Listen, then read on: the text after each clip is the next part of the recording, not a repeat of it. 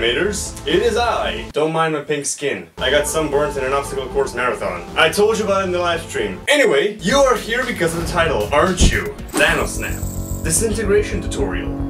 Yes! Today we're going Thanos mode in Mine-imator. Disclaimer, I know Anxious Cynic has done this tutorial before me, but I've had my community suggest this tutorial for a while now and it's finally been voted. If you want the chance to vote for my tutorials, join my Discord server, because you get to influence what I post on this channel. Let us not waste time, because today we have a lovely survival world in here and a Steve boy on the roof. So lovely. We're gonna kill him. Let's just get to the point. There's no point in stalking. First, add a surface. There we go. We're going to use something called the alpha glitch. I have made a full tutorial on the alpha glitch, but it's old, so don't mind my voice and stuff. Click the eye in the corner to go see it right now, but that's only if you want to learn about it. You can follow what I do in this tutorial, and you'll do just fine. But if you want to understand, click that video first and its alpha should be brought down to 1%. Now it's barely visible, right? But if I drop the surface's render depth lower than zero, the surface is to be rendered first, and the scenery is not visible behind it. And neither is the Steve. Render depth determines what is rendered first. So technically, if you lower the scenery's render depth even further, the scenery will render first, then the surface, and then the Steve. So we can hide the Steve, but not the scenery. Which is an advantage if you want to do disintegration. However, we can see the sky glitching as well. So let's not go below the render depth of zero. You can get some pretty funny effects with render depth. Steve is going to have a render depth of like 10 or so, and the surface is going to have a higher render depth than that. So we're not going below zero, we're not glitching anything else except the Steve and the surface. That's it. We have the power to hide Steve, but not the scenery. Now let's raise the alpha so we can see the size of this thing, animate the surface, and that's how the Steve is going to disintegrate. So now if we come back and make this surface alpha 1%, it will look like this. So we have the disappearing part done. All we need is the particles. The tutorial is pretty much done at this point, but I'm gonna show the particles as well because like it's supposed to be a full tutorial. Let's make the surface visible again so we can see the edges and stuff. So lock the particle creator onto the surface. Now it's going to move with the surface and we no longer have to worry about where I should put it. Uh. The X needs to be on minus 8 because it is 8 points away from the center and this is the very edge. Let's add a camera first so we have a point of reference here. This is where the surface actually hits Steve's face. So this is where the particle should be visible. Let's add a cube here and just delete it from the timeline. Just needs to be inside the project, that's all we need. I'm gonna name it particles skin because these are going to be our skin particles. The particles disappear after two seconds of being spawned because we're gonna change the kind sprite to be this cube. It's now summoning cubes and we made them disappear after 2 seconds so we don't get too laggy. Now the scale should be random from 0.02 to 0.1 or something. I think it's too big so 0.05. Now let's go for speed of minus 2 to, to 2 so it's random and it's very slow like this. Actually wait let's do something else. If we try raising the x, it goes into the right. So this is the positive x. Let's actually make particles fly a bit faster into the x direction.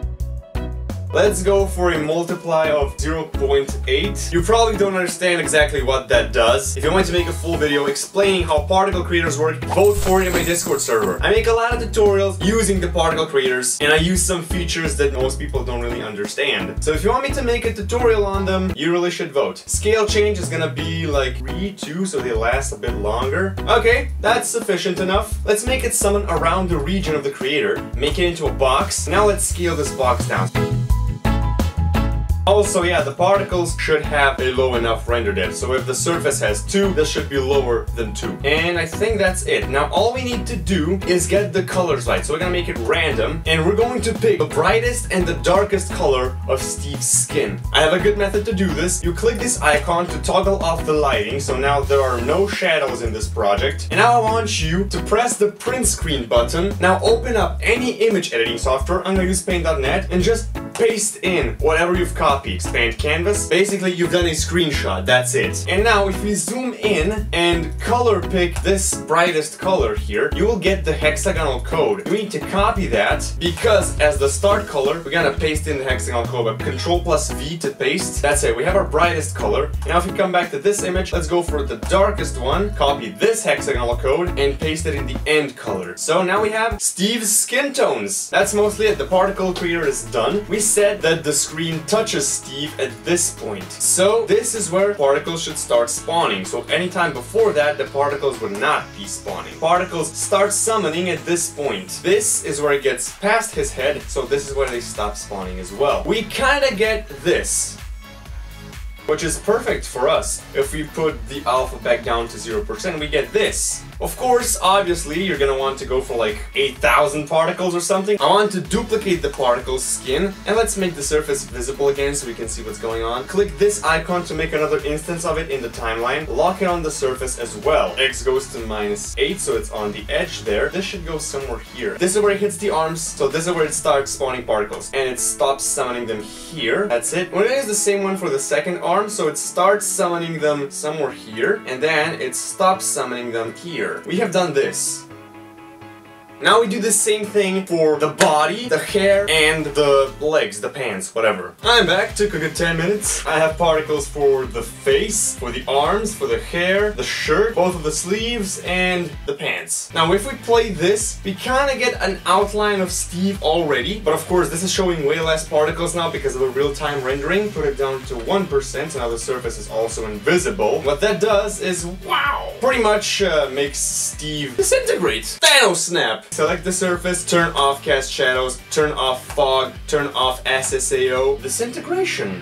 Although I wish there was a way to get like a smooth outline, a smooth bend to this. However, it doesn't work the bottom should become partially invisible, right? No, that's not how it works. That would be very nice. Unfortunately, that's not the way it works. You can always just make it better by adding multiple particles, so it actually looks more like a disintegration. Or, if you're really dedicated, you can do what Lifecraft did and just kind of add each individual block on the character and animate the block flying out. But that's honestly a pain. I don't want that for any of you guys, that's way too much. So this disintegration thing here we'll have to do. We're still talking talking about 100% Mine-imator. And that actually wraps up my disintegration tutorial. I hope you enjoyed. If you did, let me know by dropping a like and hitting the bell for more content like this. Also, again, if you want to suggest and vote for the tutorials you want me to make, the best place for that is my Discord server. These tutorials come directly from the Discord server. So that's it for me. I hope you learned a thing or two. Now, good luck animating and stay sharp.